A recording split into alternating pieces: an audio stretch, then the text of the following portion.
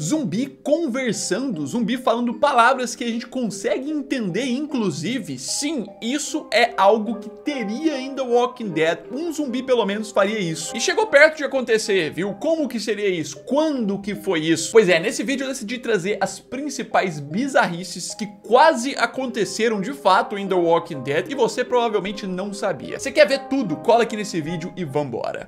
Fala, povo bonito que assiste esse canal lindo chamado A Gente Faz Agora. Tudo bom com você que tá assistindo? Então tô bem demais. Espero que você também esteja. Eu sou o João Victor, pra você que não conhece. E hoje eu tô de volta pra trazer pra vocês mais um vídeo sobre The Walking Dead, dessa vez pra falar de bizarrices. Né? A gente já fez um vídeo sobre teorias muito loucas que fãs já criaram. Agora não são teorias, são coisas que inclusive já tiveram em um certo planejamento e quase aconteceram. E cada coisa sinistra, já deixa esse like aí, ajuda muito na divulgação. E não deixe de se inscrever no canal que tá chegando a série do Daryl, vai ter análise de tudo aqui.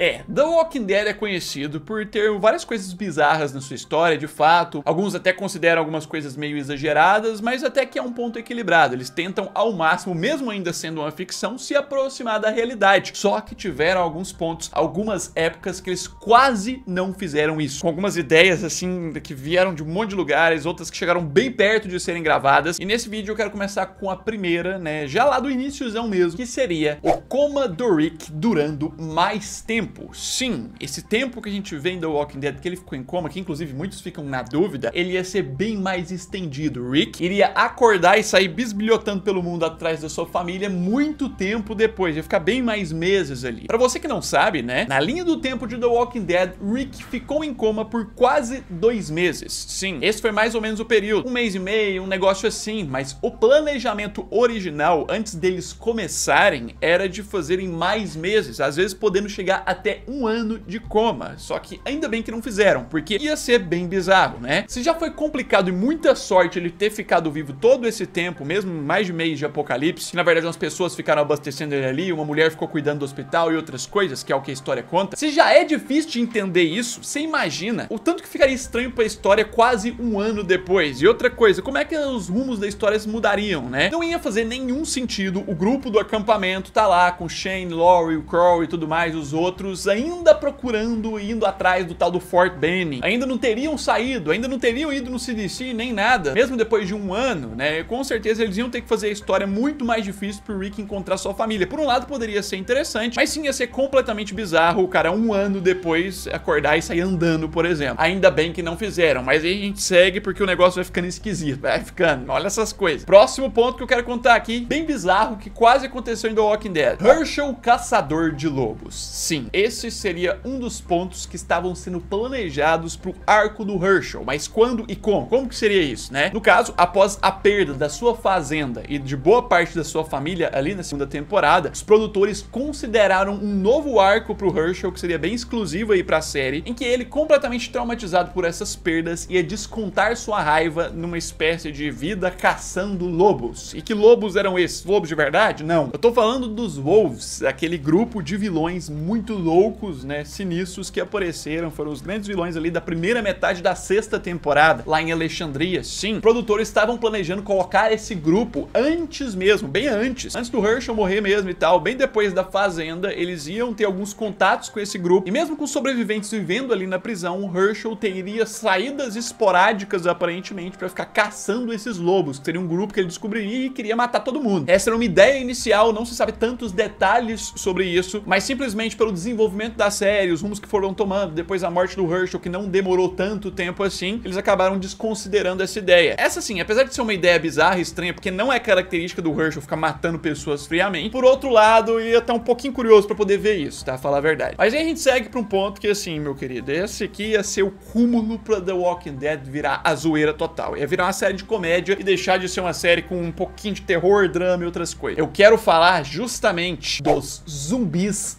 falando, ou melhor, o zumbi falando. Tinha um específico que eles tinham um planejamento de fazer isso. Não era essa, só tô usando aqui para representar zumbis. Quem ia falar como zumbi seria justamente o próprio Shane. Sim, chegou a estar tá nos planos para acontecer, chegou a ser uma sugestão lá na segunda temporada. E o que que ele ia falar, como que ia acontecer, a gente também tem uns detalhes. No caso, o que aconteceu é que a segunda temporada foi feita bem no improviso, bem com baixo custo e outras coisas. Várias decisões ali que aconteceram foram tomadas tomadas de cima da hora mesmo das gravações, eles ainda estavam num impasse de decisão sobre como seria a morte do Shane, apesar do ator saber que ele ia morrer de alguma forma. E justamente, John Bertal, ator do Shane, se reuniu com Greg Nicotero, um dos produtores da série e que estava decidindo muito as direções na época, e sugeriu para ele que Shane, quando morresse e aparecesse como zumbi, antes mesmo do Crawl finalizar ele, ele gritaria Rick, Rick, altão. Seria o primeiro zumbi de The Walking Dead a falar e gritaria Rick. Sim, você imagina a loucura que isso seria. Você imagina o pastelão que The Walking Dead viraria se tivesse uma cena dessa. Tipo, teria como fazer uma construção de cena séria? Sim, teria. Só fazer um, né, quase Rick. Pareceu que foi Rick, só foi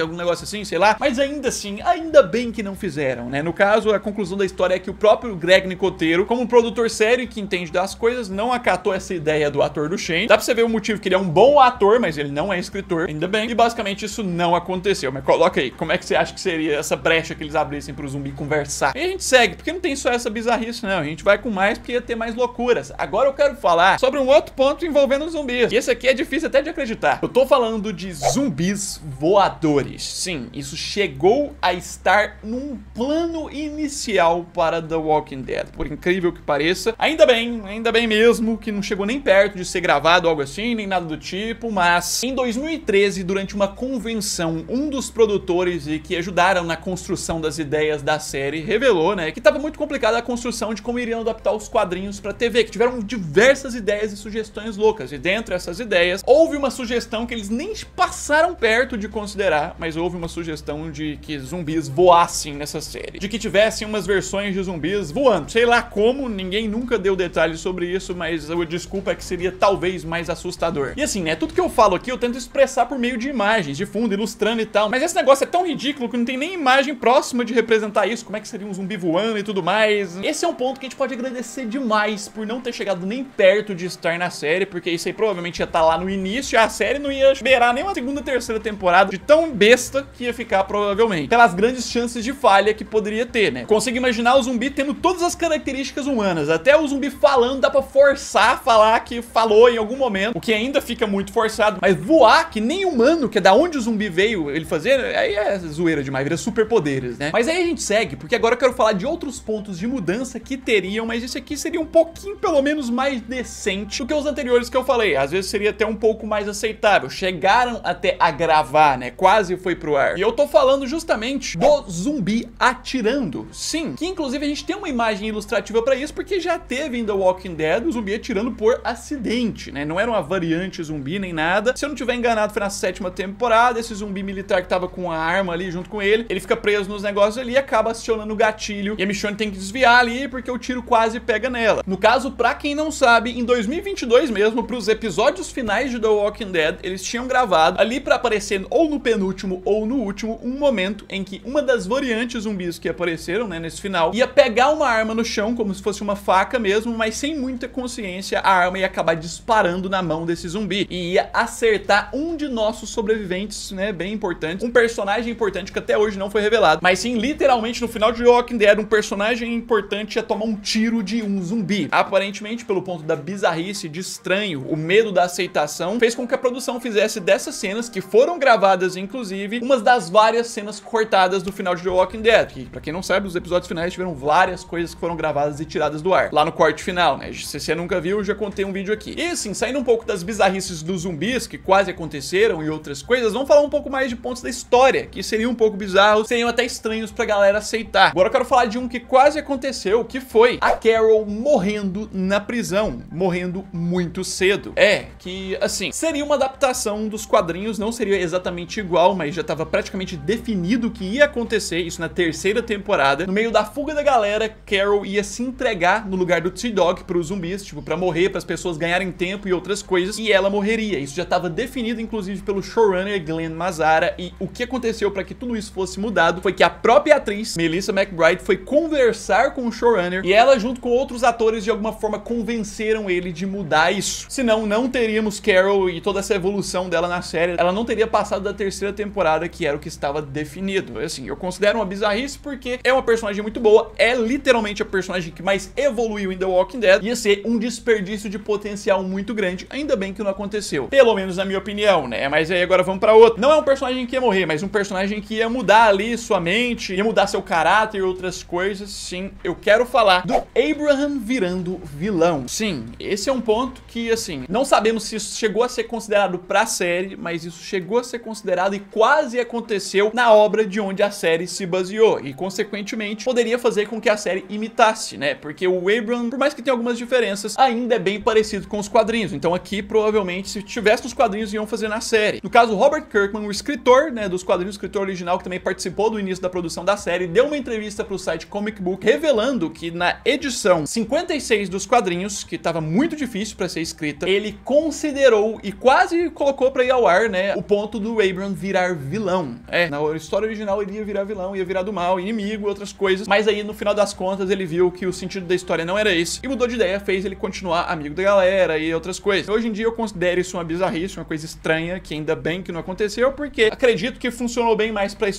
ele sendo do bem, ele sendo da galera. Ele tem toda aquela história de drama da filha dele e todas as outras coisas. Pois é, meu querido, qual desses pontos você acha o mais bizarro de todos? Vocês querem mais outros pontos como esse? Porque existem outros mais, né? Comentem aí, não esquece de deixar esse like e, claro, se inscrever no canal, porque assim que a gente chegar em 400 mil inscritos, vai ter sorteio de camiseta autografada por ator de The Walking Dead aqui. E logo eu tô de volta com muita coisa. No mais, é isso aí. Um abraço. Fui!